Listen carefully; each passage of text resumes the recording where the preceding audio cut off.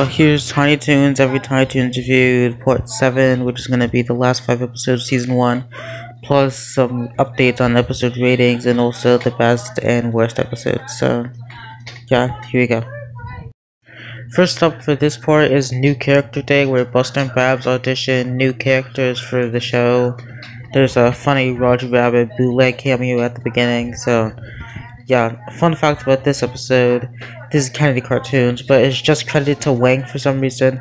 I'm going to assume there's some additional animation, but there's no Wang-esque animation looking stuff in the episode. So either they did do some stuff and it just wasn't looking hard enough, or they didn't and it's just the wrong credit for no reason. Anyway, let's get into the actual shorts. The first short is The Roaches, which is based off of a 90s band from the 90s called The Roches, but they're actually Roaches because it's the funniest thing imaginable. They have a party in Hamton's house, and there's some kind of halfway decent songs in it, so this one is a 7 out of 10. There's some funny cameos from the Lone Ant from Hold That Sugar, and also the Stupid Flea family from The Horrible Starting From Scratch. So yeah, they just do that in there for no reason. Next is the return of Pluck Tracy. There was no actual first Pluck Tracy, so uh, yeah. This is basically just a Great Piggy Bank Robbery mixed with the parody of Dick Tracy and also plain Daffy thrown in there. That's basically it. It's an 8 out of 10. A couple interesting things that I wanted to note about this episode is that the wraparound sequence before this episode has Joe Alaskey voicing Daffy, but in the actual short is Jeff Bergman for some reason. So I have no idea what it even is. Second, the thug chase scene in the gangster hideout are some of the shittiest, cheapest, laziest Kennedy cartoons animation out of the whole entirety of the library. Well, in their Times and stuff list. And the Roaches segment also has some pretty crappy animation in it, but uh, it's less bad and less noticeable. So, yeah. Anyway, uh, Return of Pluck Tracy, 8 out of 10. Another fun fact about this episode is that the Roger Rabbit parody character, just credited as White Rabbit, is credited to Steven Spielberg, even though Frank Welker voiced him. There's literally just the least amount of reason possible for that. So, yeah. Next episode, Here's Hamton, is a trio of Hamton cartoons, an amazing triple feature with the best character in the whole entirety of Tiny Toons, which is Hamton. Hamton stars in a parody of TV show intros. Those are the backgrounds. The first short, Milk, it makes the body spout, is Buster and Plucky trying to make Hamton laugh so that milk come out of, comes out of his nose. This one's 8 out of 10 and also features a horrifyingly animated, horrifyingly voiced title card with a cow saying it, and um, I think that's a reference to a milk commercial. So, yeah, this is a fun fact for you. Next is America's Least Wanted, which is an 8 out of 10. There's a Casey Kasem parody called Flaky Flakem, which Casey Kasem plays, so that's fun. The plot is Plucky discovers that Hamton has a criminal doppelganger. He tries to turn in the real Hamton for a reward. There's a bunch of hilarious slapstick comedy antics, and then it turns out that the real Hamton is put in jail in the end. So, great stuff. 8 out of 10. And finally, for this collection is John and Bud, where Hamton tries to cook a lobster. This one is a 7 out of 10. It's not as good. Also, the lobster is horrible, annoying, and not funny. And Elmira just randomly appears out of nowhere in Hamton's house at the end for no reason because I guess they're too lazy to actually write something that made sense. So, uh, yeah, this short is 7 out of 10. Now for episode 63, No Toon is an island where Buster, Babs, and Plucky and Hamton are on the beach and then they find a treasure map. So they go to some sort of island and they agree to search the treasure together, but uh, the map ends up being ripped and then Plucky steals the map and then there's a bunch of random antics until it turns out they have to have the treasure, so then yeah. eventually they end up getting jealous and fighting over the treasure the whole time. They get it on the boat along with the random stupid birds and they have to throw the treasure overboard. It was like the real treasure was the friend they made along the way or something.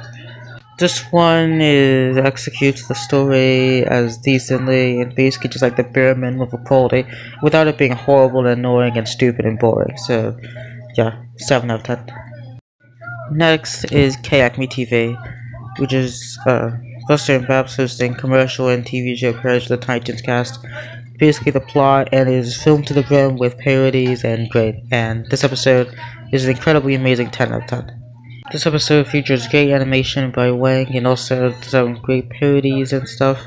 And since this is a show from the 90s trying to reference a bunch of things, and obviously a lot of these things are going to be lost on the modern audiences, but the majority of them still make sense in context. So, yeah. Also, this episode with the People's Court parody Toon Court segment predicted Coyote vs. Acme. Release Coyote vs. Acme. Well, there's an article that the movie was based on, and it was most likely that this was based off of that article, but it still predicted it. Also, uh, just check my notes, and the rating was a 9 out of 10 the whole time instead of a 10 out of 10, but basically the same thing. Also, hilarious fun fact for you, this is the last episode produced for the first season. It was going to be aired as the last episode of the first season, and there's also the credits gag that references it being episode 65. But then it was, it was aired as episode 64, and there's a hilarious fun story which leads into the next episode. So, yeah, this episode, 9 out of 10. So our final episode for today is High Toon, where Buster and Babs try to go to Acme Land, but then they end up getting misdirected to a random old crusty western town, which I think is a part of the theme park at first. But then it turns out there's actually a little western town where the Coyote Kid, which is just a Wally Coyote, I don't know why they just used it, but I guess it basically is him. So yeah, the Coyote Kid and this Coyote gang end up terrorizing them, so then Buster and Babs and Plucky and Hamton try to defeat them. It's a whole entire western action, except for that it's boring and dumb. Anyway, continuing on from the story of that previous episode, it was originally KACME TV was originally going to be the last episode of season one, but then this episode ended up getting delayed because the Kennedy cartoons animation I guess was so horrendous that they decided to have Wang do like a bunch of retakes. I honestly don't really think it was worth it. The episode is barely even that good. This episode is really, really boring with horrible pacing. Also, there's barely any stakes and is stupid and bad. Also, High Toon was the 50th episode produced, and the KACME TV was the 65th episode produced, as previously mentioned. So, I don't know how long it would be between those episodes. Uh, I guess the retakes uh, just took so much time, and there were so many retakes that had to be done, that had to be delayed a whole entire 15 episodes. Well, even though it's most likely that probably wouldn't have actually aired as a 50th episode, but let's just assume that did, and it had to be delayed by a whole entire 15 episodes. And since the show was first uh, aired as daily syndication, then that's basically like 15 days. But yeah, probably produced way before then. Also, I think that they plan out when the episodes are going to be scheduled and aired uh, before, well, probably after they actually finished, but before they're actually aired, so, uh, yeah. Anyways, the whole entire behind the scenes story is more interesting than the actual episodes, which leaves this season out on a not really that good note. So the episode overall is a 5 out of 10. Kennedy cartoons ended up being fired after the first season, and oh, not only because of all the retakes and stuff, because I think the retakes only happened with Luna, Be with the Luna beginning this episode and the previously mentioned New Character Day, which is the last episode produced by Kennedy Cartoons, which is produced as episode 64. So I think it was because of the incredibly horrible animation of New Character Day that they were fired, and also the inconsistent quality and stuff. So, uh, yeah. Since the season are not really that good note. Anyway, now it's time to get into the best and worst episodes, updates, ratings, and all that other stuff.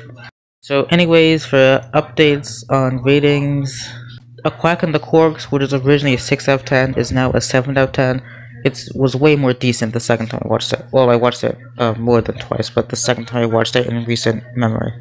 So yeah. I have no idea if I mentioned it in the previous review or not, but Starting from Scratch is now upgraded from the prestigious 2 out of 10 to a slightly more prestigious 3 out of 10. Even though it's so horrible and boring, it has uh, some kind of sort of not shitty things about it. So yeah. Also, I did you watch an American Tail and it's an amazing 11 out of 10 classic, but that didn't really enhance the quality of the episode. Also, I mentioned this in a previous part, but I want to mention again that the Anvil Chorus is now a 6 out of 10 instead of the 4 out of 10 that I previously rated. So, yeah. So, the overall rating for the season, this was calculated before I made all the changes to the ratings and stuff that I mentioned previously, but it was a 7.27 out of 10, which is basically just 7.3. But now with the new ratings, it's probably somewhere in between that and a 7.5. So basically, the season executed everything decently according to the overall ratings. There were some good episodes and some shitty episodes. Now here are 13 episodes that are great. 14 A plus episodes. So I just realized that I counted two of them in the same thing. 14 A plus episodes. Not in any order. First up, you US 4 parts 1 and 2. For the first part, there's three great shorts. Even though the last short isn't as great as the first two shorts, it's still great. It was the first episode produced animated by Wang, and even though it has some crusty animation, I honestly like it. And the second part, it, part two, has three great 10 out of 10 classic shorts with amazing Kennedy cartoons animation, and yeah. Next, Buster and the Wolverine has some of the best Kennedy cartoons animation, and yeah, it is crusty at times, but that's basically just the usual Kennedy cartoons animation. So, yeah, think that most of the reason why I like this episode is because of the animation. Next is Inside Plucky Duck featuring a Batman short, which is amazing. And then the next, slightly less amazing, but still amazing short where Plucky turns himself into an eyeball after doing the ultimate wild take of all time. So, yeah, this one is also great. Next, K Acme TV. I did already talk about it in this part, so I won't really expand on it, but basically, it's great. Next is Life of the 90s, which proved that the AKOM animation studio could produce episodes that weren't the worst thing in the whole world. This one includes three shorts about life in the 90s. As previously mentioned, AKOM animated this episode, and some of their best Titans work with some great expressions and great animation. And also, Abraham Lincoln just exists, so extra points for that. Next, Groove Tales of Real Rabbits. The Freelance animation is kind of crusty, but they do pull off some great expressions, and there's two great shorts in there. Tiny Music Television has the incredibly amazing character Julie Bruin, so instantly 10 out of 10 classic, but also amazing TMS animation, also great songs and great music to go along with the animation. Well, I guess the animation going along with the music technically, but yeah, you know what I mean, 10 out of 10 classic. Next, Audition Time is a fun time travel story, even though in the part that I reviewed this episode in, I think was part 4, I mentioned a stupid plot point resolved with a stupid joke with uh, prehistoric egg makers randomly being destroyed in Act 3, then make a stupid joke about it not being destroyed and not even explaining it. Besides that, this one has some great writing, a great concept, and great animation by TMS. And uh, yeah, basically all of those things apply to the next episode, Test Just, which is three shorts, all great. Next is the Slugfest segment from uh, one of the Mr. Popular episodes. This one has incredibly amazing animation and also a great Ninja Turtles parody. The final three episodes for this section, Her Wacky Highness, Hollywood Plucky, and Enchanted Sound Effect Makers, all have great writing, great animation by TMS, and also really great character episodes. Anyways, those are 14 episodes that are A+, but now, now let's go on to 8 episodes that are shit. So, uh, starting off the 8 episodes that are shed is starting from scratch. This episode isn't nearly as horrible as when I first watched it, but it's still kind of boring and I'm not going to watch it ever again. Bob Bugs Bunny is just boring and barely even has any actual story. High Tuned is a horribly underwhelming season finale that I just talked about and I don't really want to talk about anymore. The 2-3 Bear Shorts, Brand Necessities, and Teddy Bear's Picnic are boring as damn fucking shitty as hell and also have stupid and bad animation. Also, horrible voice acting. Next is the first anthology of those shitty episodes. Wacko World of Sports has three episodes with shitty animation and barely even good executing, and there's barely even actually any pacing or gags. Next, Strange Tales of Weird Science has sh really shitty animation and shorts that would otherwise be decent. And finally, Whale's Tales. That's it. I've already did like a three minute long review on it and the part that reviewed it in, but basically sum it up, shitty animation, shitty writing, brilliant pacing, brilliant gags, a horrible stupid story, and basically just trying to shoe in a, a shoehorn in a stupid lesson because it's garbage.